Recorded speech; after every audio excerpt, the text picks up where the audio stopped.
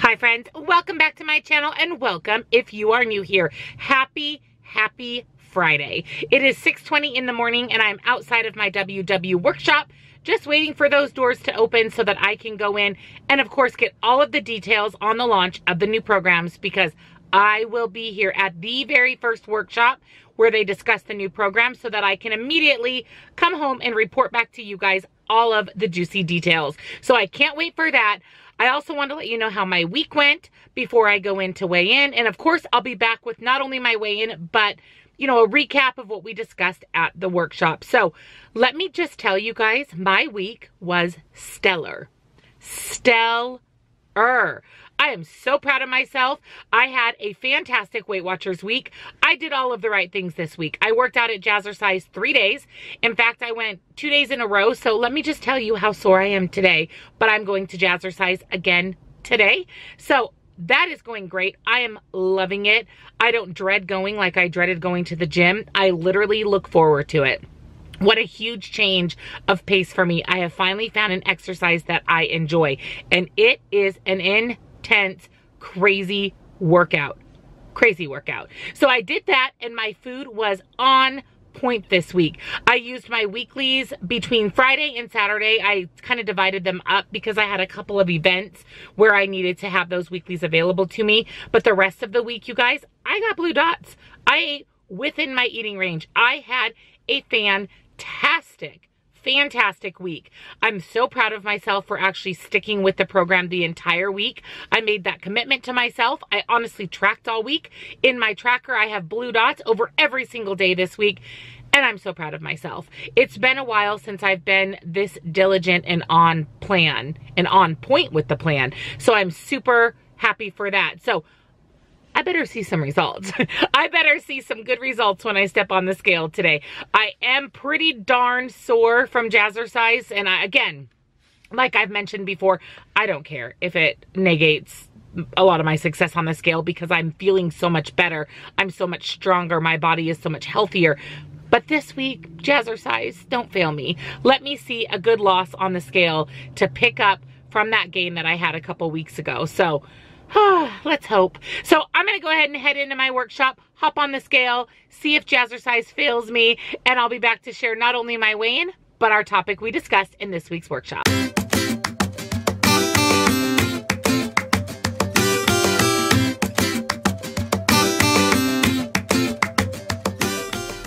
Hi guys, I am officially out of my workshop, so welcome back.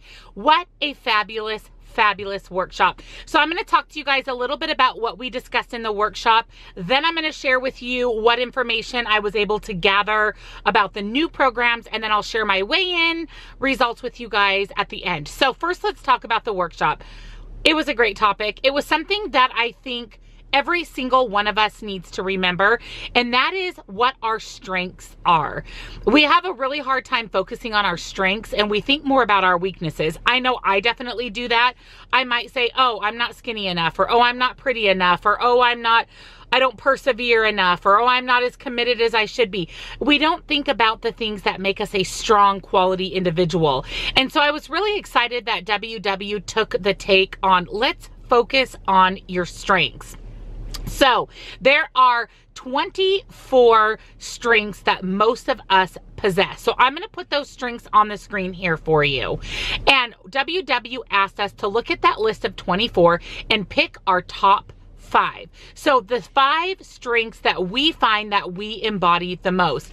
And it was hard because it's really hard to think that positively about yourself and pick out five good things about yourself. I know that it is a proven fact that us as human beings have a hard time giving ourselves compliments or focusing on the things that are positive about ourselves. So it was hard, you guys. It took me a few minutes to really narrow down five out of those 24 strengths that I thought that I embodied the most. So I want to share with you the five strengths that I chose, and I want you to take some time and pick five off of this list that you embody, five strengths that make you who you are. So I think it's important for us to focus on those things. And then we're going to take one of those five strengths and we're going to focus on it for the upcoming week. So here are the five strengths from the list of 24 that I think embody myself and why. So the first strength I chose is perseverance. And the reason I chose that is because I've had a lot of things thrown at me throughout my life there's things that are thrown at me on the daily. And I feel like I am really good at persevering through all of those things. I don't let those things negatively affect me. I focus on them, I think about them, I come to a decision or a conclusion about them, and I move on. So I feel like I'm really good at persevering through the challenges that are thrown at me in my life, and I don't let those things get me down. So I definitely think I embody perseverance. The second strength is zest. You guys, I have a zest for life. You know that. If you follow my channel, I am happy. I am go lucky. Life is good for me 99.9% of the time, or at least I make it good for me 99.9% of the time. I just have a zest for life. I have a zest for all of the things that I do. And if I am passionate about something, or there is something in my life that makes me happy, or that I commit to, such as WW, or going to jazzercise, or my husband, or my job, I have a zest for those things. And I feel like that zest that I have, I can translate that into my daily life and I can make other people feel that same zest for the things that I'm excited about. So I feel like I definitely embody zest. Number three is creativity. You know me in my recipes. I feel that I am a very creative person at heart. I like to take recipes that aren't WW related and make them WW related. I like to put creativity into my videos, into my real estate, just into my day to day life. I mean, I'm creating a new office space for myself. So everything from my home to my daily life to my career to YouTube, I feel that I bring creativity. And I've always had this little spark of creativity my whole life. Those of you that may not know, I sold a stamping and scrapbooking company for over 10 years. I was extremely successful, and that is the essence of creativity. I created cards and scrapbook pages and projects, and I shared that with others. And I built a business on that and it was a very thriving, successful business for over 10 years. I also owned coffee shops. I had to be creative in how I marketed those coffee shops and what I did to bring people in and keep people is part of my business. And once again, I'm bringing creativity to YouTube and real estate. So I definitely feel that I embody that, that strength of creativity. My number four strength that I embody is leadership. I have always been a leader. I'm not kidding you guys. My mom said since I was a toddler, two or three years old, I always had that leadership skill. I'm somebody that doesn't follow the crowd. I'm somebody that people tend to gravitate towards. I find that in my day to day life. I find that again in YouTube, in real estate, in every position that I've ever had. I've always held some sort of a leadership role. And I think it's partly being an only child and really just having myself to depend on. I've, I have to lead myself because I don't have siblings that can help guide me or a lot of friends that can help guide me. So I feel that I do definitely have leadership as a strength and I'm really happy about that. I'm proud of that strength. So leadership is number four. And number five is gratitude. I am so grateful especially for each and every one of you. I'm grateful for the blessings that I have in my life. I'm grateful that I have a roof over my head. I have a loving husband. I have two amazing dogs. I have a mom that I love and adore. I have a great job. I have YouTube. I have so many things in my life to be grateful for. And I really try to focus on those things every day. Every morning when I wake up, I give myself something that I'm grateful for. I'd rather focus on those things than the negative things. Plus, it gets my day off to just a great start to really think about gratefulness and gratitude. So I definitely definitely have the number five strength of gratitude. So those are my five strengths that I chose off of that list of 24. What are your top five? I would love for you to share those with me down in the comments. And what we're going to do this week is pick one of the top five strengths that you chose for yourself and focus on that for the upcoming week. So I am going to focus on creativity. I have a collab coming out. I have another episode of fall baking. I'm working on putting together a meal plan that I can share share with all of you guys. So I'm really going to spend this week focusing on being creative. I want to plan out my changes in YouTube coming in 2020. I put a poll out in my Facebook group yesterday and here on the community tab about how often I should be uploading videos.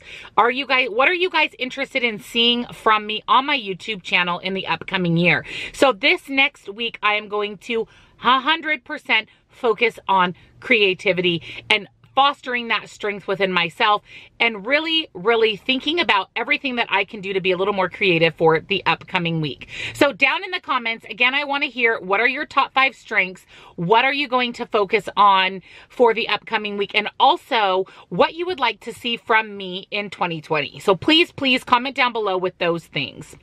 Now, let's talk a little bit about the changes coming down the pipe for WW and what that looks like. So I asked my workshop leader. What are they called now? Coach. Coach? Oh my gosh, I can never remember you guys.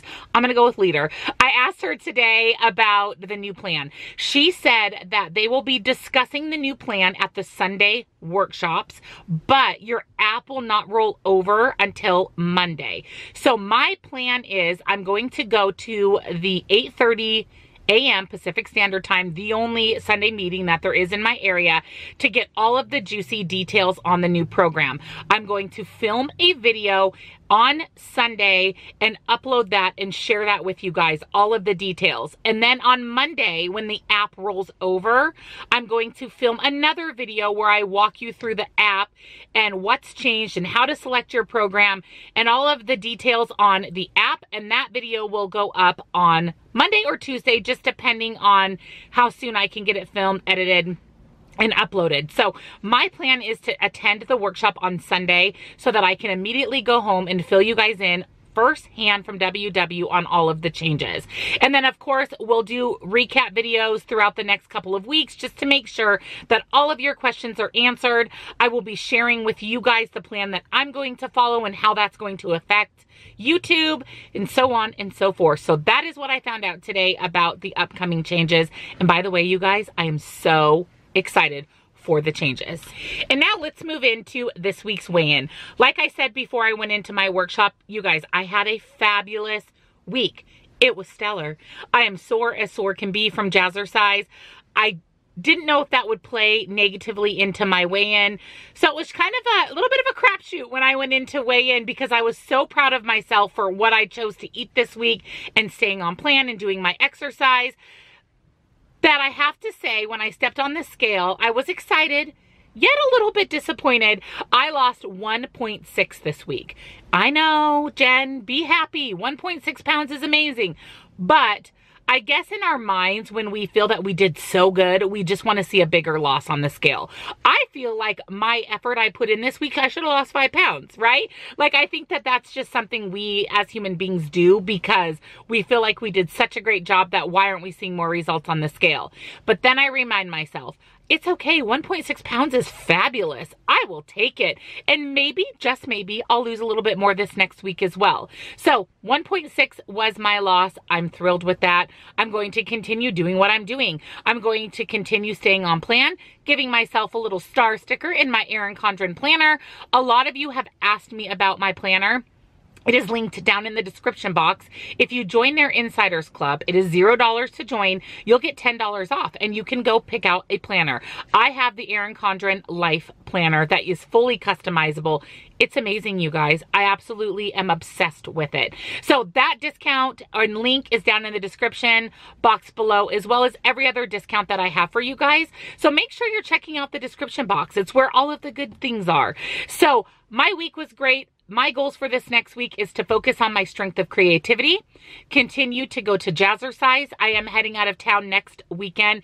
It is my husband's birthday on November 17th, my birthday on November 18th, and we got married on his birthday the 17th. So we actually go to Leavenworth every single year for our birthdays and anniversaries. So we're actually going next weekend. We're leaving Friday and we come back on Saturday. So videos will be a little bit weird this next week. I am thinking I'm still going to go to WW on Friday and then head out of town after that. But my goal this week is to continue Jazzercise and continue to get that little star in my Erin Condren planner uh, every day except for Saturday. So those are my goals. Again, comment down below, you guys. Let me know your top five strengths, what you're going to focus on this week, and I can't remember the other thing I wanted you to share with me. But share share away, share down in the comments below.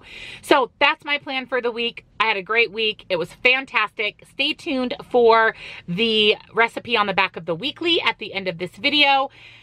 That's it, guys that's all I wanted to share for the week. So thank you so much for watching. If you're new, I would love it if you would take a moment and just hit that little subscribe button so you can join my YouTube friends and family. Also, you guys, head over to my Facebook group and join that as well. It's right there on the screen for you. We have 10,100 members now, and it is such a great place. We have a secret sister gift exchange happening. We have a Christmas card exchange. We have all sorts of fun stuff coming your way on the Facebook group. So definitely head over there. Lots of chitter chatter about the new programs. I probably will go live on that Facebook group as well. So definitely join my group. It's such a fabulous place to be. Thumbs up this video. I really appreciate it and it helps my channel out so much. Leave those comments down below. And of course, you guys have a wonderful week. I love you so much and I'll see you in my next video. Bye guys.